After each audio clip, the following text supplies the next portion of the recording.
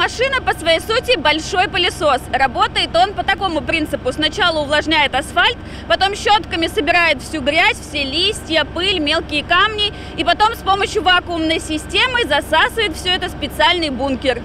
По Мурманску сейчас ездят четыре небольшие машины, которые убираются в парках, скверах и на тротуарах вдоль всех улиц города.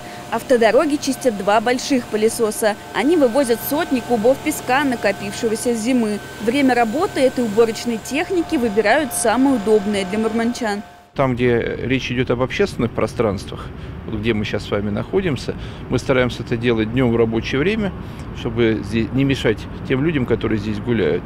Когда мы говорим об улично-дорожной э, сети, прежде всего это надо делать, конечно, поздно вечером, рано утром и ночью.